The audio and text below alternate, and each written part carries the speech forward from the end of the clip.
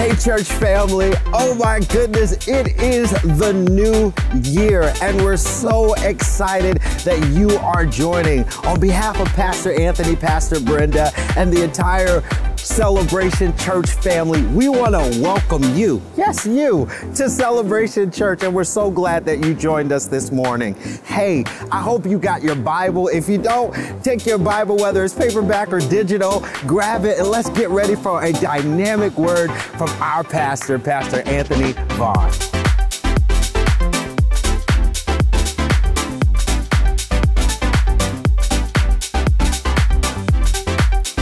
What's going on, church family? Pastor Anthony here. Come on, I want to say Happy New Year to you and your loved ones. Come on, you guys are bringing in the new year.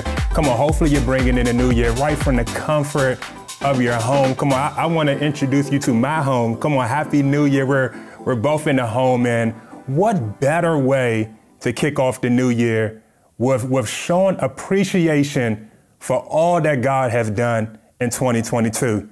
But real quick, for 2023, come on, here's what we're believing. We are believing that this will be your best year ever. And here's why. This will be your best year ever. Why? Because this will be your best spiritual year ever. When we put God first, the best is yet to come. So we're proclaiming it. But right before we jump into 2023, come on, what better way than to spend some time on January the 1st just showing appreciation for all that God has done through Celebration Church at our DC location for 2022. Wow, family, I- am so blown away of just the milestones, the wins, the testimonies, the stories that we can that we had the opportunity to, to walk with God. I love it in Matthew 7. It says this, family. It's when Jesus speaks about the firm foundation and, and when he speaks about the firm foundation, it, it lets us know that whatever you are building, if it's built on that rock, it will not fall. The wind may blow, the, the rain can come, but if it's built on the foundation of Jesus Christ, it can withstand anything. I believe our church has that testimony that is walking in that grace. And, and for today, family, come on, this, this is going to be pretty cool. I, I'm, I'm really excited to dive in. We, we have so many wins here at Celebration Church. But we want to take our top five, and, and, and, and maybe it's not top five. It's, it's some of our favorites, to be honest. I want to loosen up a little bit for you guys, because this is some of our favorite moments there's so many moments. We, we don't, we can't be here for two, three hours just sharing all of them. But do me a huge favor, even right now, just put it in the chat. What, what are some of your favorite moments from 2022? The impact of the church, some of the, the events, the wins, the milestones, when you when you're seeing the, the movement of God, just go ahead and put it in the chat because I want I want to hear from you guys, but I want to share the first one. Come on, if I can take you back to number one right here. January, we kicked off our 21 days of prayer and fasting. Wow, this was such a incredible, incredible move of God there for 21 straight days, family. Come on, if you remember, just put it in the chat. Come on. We jumped on our virtual prayer call for 21 straight days of beginning our morning with God and, and God's people at 7 a.m. And I'm telling you, family, this was a time of refreshing. Man, God was speaking to us, healing was happening, breakthrough what was happening. What, what better way to kickstart your year with prayer and fasting? If I can do shameless, if I can do a plug real quick, come on. Starting next Sunday, January the 8th, come on. We will be kicking off our 21 days of prayer and fasting. And, and it's a great opportunity to start this year proclaiming and believing that God is getting ready to do above and beyond for you and your family. Come on, Ephesians 3.20. And we're doing it with, with, with prayer and fasting man, if I can, if I just want to be a little bit more open, because this is what today is all about, just sharing a little bit of my heart. I remember for 21 straight days, and shout out to our, our, prayer team and our, prayer team who, who, who, always has prayer on, on Sunday morning. And, and I love just the, the, the testimonies and the stories Man, I'm telling you, family, just on a prayer call, we can feel the presence of God. Man, maybe, maybe you're in a season of isolation right now. And I'm telling you, maybe you're feeling in a season right now where you're just by yourself and you don't know how you're going to get over this obstacle or or maybe you're you're setting out some resolutions. Come on. You're casting some new vision.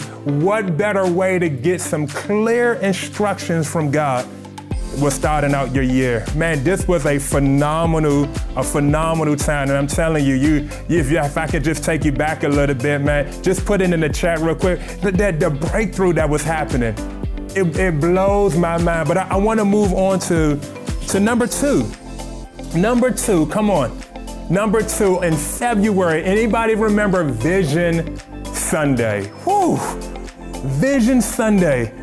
I'm telling you, family, the, do you remember the anticipation that was in the room?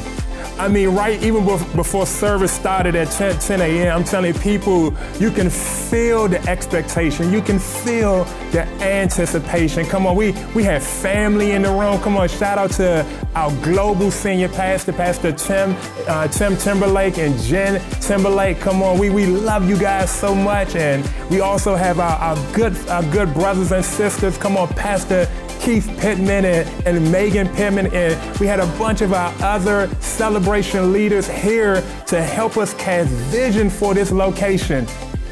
Man, if I can also be a little bit honest, come on, we, me and Pastor Brenda, we, we were installed as lead pastors for this location.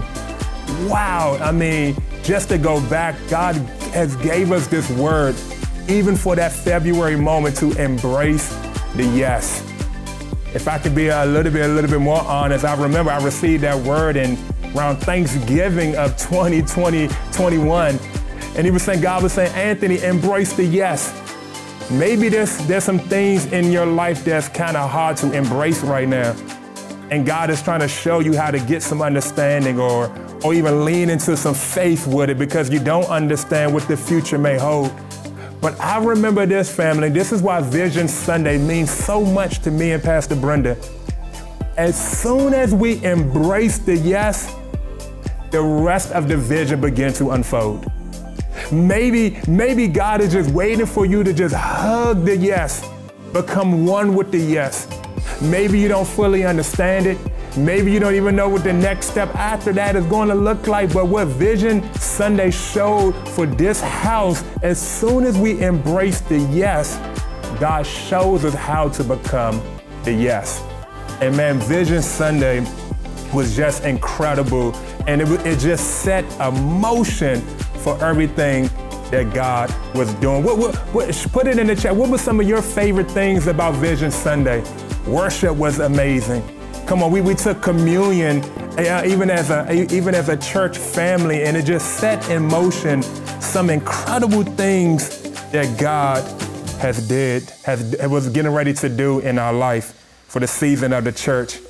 I, I love this next one, family. I really do. I love this next one. The third one is in April. Come on, we we had our first dream team night for the year. You may be asking, what, what is our dream team? Our dream team is a collector uh, of believers right here at Celebration Church. This is our team who come together to make sure the dream, the vision comes to pass. Man, these are our serving team. So let, let me just take some time out and shout out our serving team. Come on. Sunday is not possible without this team. I want to shout out our C Kids team, uh, our youth team. Come on worship and our production team, our, our guest service, and our usher team. Come on. Thank God for our setup and teardown team. Come on, Mobile Church. Come on, it's, it's a little cold out there. Thank God for our setup and teardown team. We, we have our prayer and our care teams. It's just so many teams that call, that, that come together, that call Celebration Church home, but it's not possible without them. See, here's the importance and why this is a huge milestone and a huge, a huge win for this DC location because the Dream Team night, it's, it's a night of inspiration. It's a night of engagement where we, we get to come together, but it's also a night of fun. We're, we're all about family. If I can be honest with you, even coming out of the pandemic, our, our team shrunk because of the pandemic. We're, we wasn't back in service in 2020 and the early part of 2021, and we've seen our teams begin to uh, kind of shrink on us a little bit. And, and now being back uh, going into uh, April, we have been in, back in in-person service for several months now. I even remember, come on, can I take you back to being in Regal, Kingstowne? Even our C Kids team, there wasn't a C Kids team, if I can be honest. We had one volunteer. We didn't even have a full functional kids ministry. Our first onboarding rant was actually, come on, you remember our family lounge? Come on, it was a place where we created for the crying babies to go so they won't disturb the service and, and kind of kind of scooter you out of the, the mood out of the theater, the sanctuary over to another theater. You anybody remember the family lounge? But wow, by April, come on.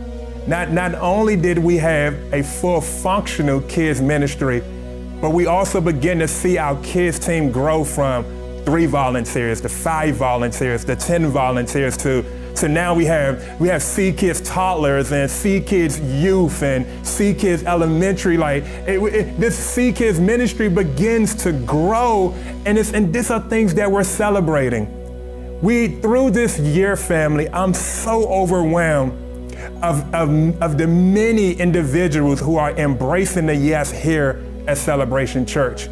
This is why Dream Team Night is, uh, is so huge to my heart. Just even seeing our, our worship team begin to grow. To, to just having one worship leader now, we almost felt like we have a choir up there. Come on, somebody, where's the robe at? like our team is growing. Our production team is growing. All of our teams are growing and, and I'm so blown away. Just put it in a, in chat. Give me some fire emoji. Just, just shout out our dream team because these are the individuals who are helping cultivate an atmosphere so that other people can say yes. You guys still believe there are souls that need to be saved. You guys still believe that, that, that God is still changing and saving lives. And here's how we partner. Serving is so big, and that's why Dream Team Night is a night of inspiration to, to feed us of knowing that when we serve, it's just not for the other individual all the time. It's actually for my own soul. My soul becomes whole when we begin to serve. So we, we celebrate these milestones. And I, in my fourth one, come on, we moved to July. This is a, another big one. Come on, let me know if you remember this. Anybody remember Serve Day and Serve Sunday in the month of July? Come on, the hot weather, the hot month. But serving here at Celebration Church for the DC location and for all of our organization is huge to our heart. I will always say this, family, we, we are not just a church. We get to do outreach. We are outreach. We don't have just an outreach event or an outreach department. We are outreach powered by a church. We are the intangible hands of Jesus. We are the tangible hands and the tangible feet of Jesus Christ. And on this particular month, we, we had Serve Sunday and also our Serve Day. And I'm, I'm so overblown from our partnerships that we have. Come on, shout out Be the Good Projects. Our church family came together where we, we packaged over 600 sandwiches for families to feed families. We also took a trip to Carpenter Shelter. Shout out to, to the Carpenter Shelter here in the city, city of Alexandria, and they, they're here to aid homelessness. We actually went into their facility and we, we did a deep clean and come on, we got in there and we, we scrubbed around just to bring a uplifting and, and, and, and, revamp their, their outdoor space for all of their, their tenants. Like, I, we were so overwhelmed and so just grateful that God would give us the opportunity to make a difference for somebody else. This is the heart of Jesus. This is the heart of this church. How can we go the extra mile for somebody else to put a smile on their face, but even more important, to present the love of Jesus Christ so that eternity can be saved, can be changed. Wow, church, this is, this is who we are. This is who we are. And we continue to, to lean into these moments. And my last one, come on, I said top five. but there's so many more. Come, we, we, we can go all evening. Come on, we can go all day. But my last one is this one is close to my heart. Ah, come on, ladies. Do you remember Sisterhood Conference? Woof. Sisterhood Conference. I, to be honest, I'm, I'm a little jealous. I, I, I just seen the pictures and I just heard the testimonies, the stories, and I've seen the videos. But just the stories and testimonies alone of the freedom that so many women were impacted and set free at the Sisterhood Conference in November. Well, shout out to my babe, Pastor Brenda. love you so much. She did an incredible job with leading this moment just ministering and, and touching the people and, and, allowing the Holy Spirit, Holy Spirit to be with her and guide her and, and minister right to the heart. And all this, the testimonies that came through and the, the, the one word that continued to release from that moment was freedom and also peace. Actually, two words. It was freedom and peace. So many women were were set free. And, and this is what our sisterhood ministry is all about. There, there were many different events from our sisterhood groups throughout the year, through our sisterhood brunch early in the year. You can be expecting more even in this year uh, of just seeing our sisterhood ministry begin to expand and grow. Come on, Pastor Brenda does such an awesome job. She, she has such a huge heart and gift and calling for women. And we're just praying that even in this season that God will begin to touch her because wow, she's going to be doing some amazing things. And I'm just so grateful to have a front row seat just to see what God is getting ready to do. But family, that's that's top five right there. But you know what? I, I really I feel like I can't stop right there. there, there there's so many. I want to share just some bonuses real quick. Is that okay? Can, can I can I share some bonuses? Our Easter service was pretty good at Regal Kingstowne Theater. But I'm not gonna share like stats like how many attendees we had and, and, and all of that. Here's an incredible story that I love uh, for our Easter service. And it didn't even happen during the service. It was service for someone after the service. How about that? I remember our first time, our first time guests enjoyed the service, God moved, but on the way from leaving the parking lot, uh, she, her car got stuck. And I remember she was actually on a rock. It wasn't a rock of Jesus, it was, it was a, a boulder. She was, her car was stuck on a rock in the parking lot. And man, I remember our team, probably about 20 individuals, we walked over to the parking lot and we were like, hey, we can either call a tow truck or we can come together as the people of God and lift her car up and allow her to back up to get off the rock. Can I, can I ask you what decision option do you think we went with? No, we did not call AAA. We are AAA. We lifted her car up off of the boulder and she pulled back and she was just overwhelmed. I know she was a little embarrassed, but she just loved that our church would go the extra mile. Man, this is an extra mile church. Speaking about extra miles, I also remember baptism. While we being a mobile ministry, sometimes baptism can be a little bit of a struggle. Man, I remember in, in July, actually, we, we, we, we found a neighborhood pool, pretty much like an Airbnb for pools.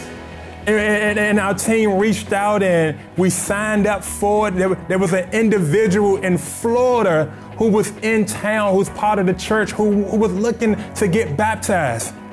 Man, we, we, we got the Airbnb pool, the neighborhood pool, a beautiful day. And guess what we did, family? We, we drove over to the house and we baptized the, the, the son and the father. We baptized them and they shared a beautiful moment. Matter of fact, it was a stepfather and a child, and it was a union for them coming together. And we, the church went the extra mile. Here's what I'm sharing my heart is what I believe in this year, 2023. God is saying, Celebration Church, how can you even go the extra mile for somebody else?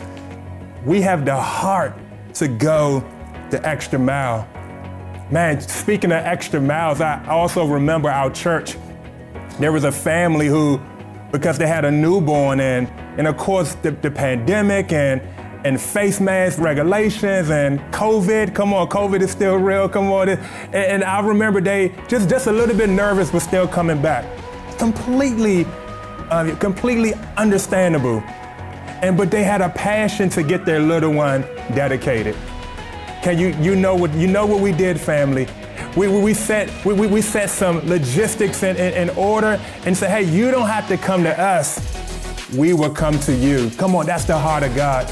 And I remember our team, we went over to the house and we dedicated the little one back to the Lord. The family was overwhelmed that the church would go to extra miles. These are, these are the stories I love, family, because it shows the heart of this ministry that regardless of what the situation is, if Jesus can go the extra mile for us, we can go the extra mile for somebody else.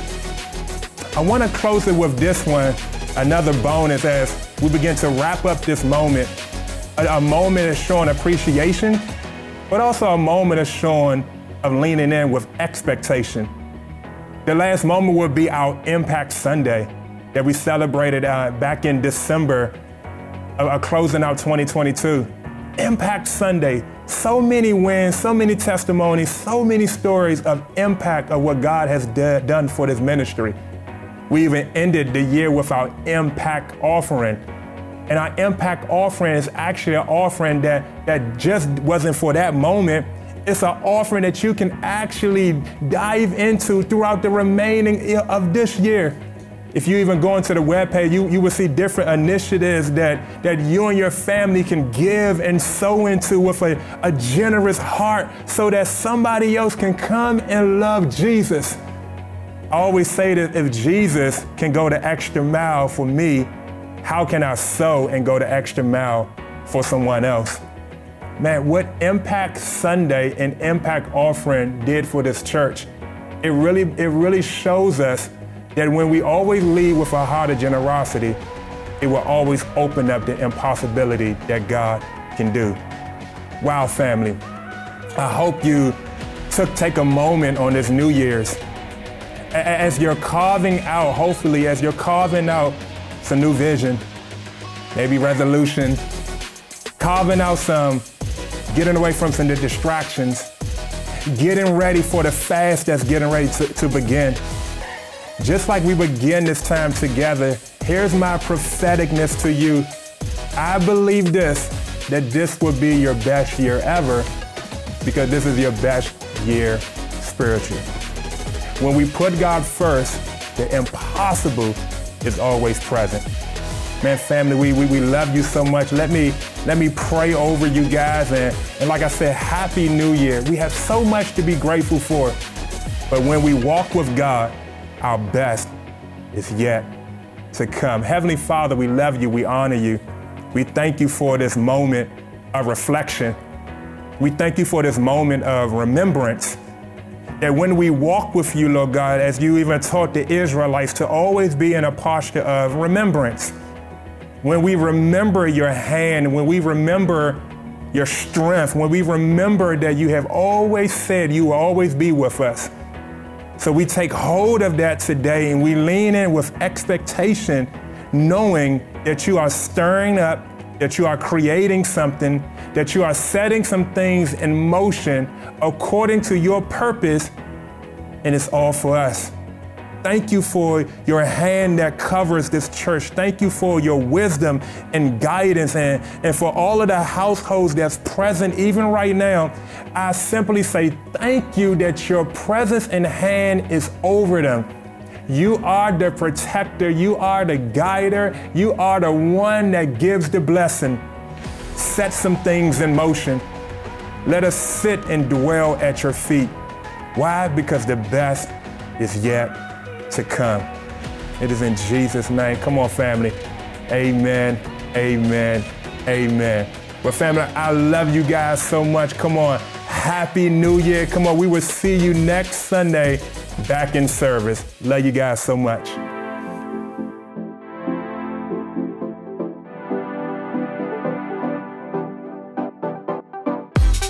Wow, what an amazing recap of all of what God has done last year, and we're believing Him for so much more this year. Well, if you are new here to celebration or just giving your life to Christ, we want to invite you to take that next step. It is Next Step Sunday, and today we're going to do it a little bit different. We're going to do it online. So you can either click the link below or you can check out the description for more information of how to continue to grow in your faith or even serve here at Celebration. Next Sunday, we get to come back together in person We're at back. John Lewis High School yes. at 10:30 a.m. So be sure to set your alarm clocks, get there on time because you don't want to miss a minute of it. You don't want to miss. I can't wait to see our church family. And if you're still traveling, don't even worry about it. Yeah. We're still going to have it live for you at 5 p.m. online, so check it out. Next Monday, January 9th, kicks Ooh. off our 21 days of prayer and fasting. Marquise, I don't know about you, but I am just believing for so much that yes. God is going to bring from yes. this time, not only for myself and my yeah. family to set us up for the year ahead, yeah. but for our church family. Yes. So, guys, continue to lean in, continue to pray and ask God what He's calling you to fast from as we start our prayer and fasting. Yes. I can't wait to see everything that He's going to bring to our church family this year. It's going to be amazing. Family, it's been great this week. Happy New Year. Happy New Year, guys. So glad you joined us. Yes. Let me pray us out this week. Yes. May the Lord bless you and keep you, shine his face upon you, yes. and be gracious to you. Yes. In Jesus' name, in amen. Jesus name. We'll see you in person next week. Yes. Bye, guys.